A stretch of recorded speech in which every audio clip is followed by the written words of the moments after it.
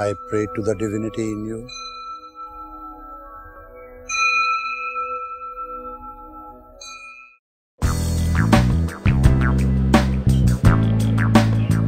On a rare occasion at the Himalayan Institute in Honesdale, Pennsylvania, Swami Rama conducted a class in Kung Fu for the young children. Himself a Kung Fu master, Swamiji wanted to inspire the children to learn martial arts.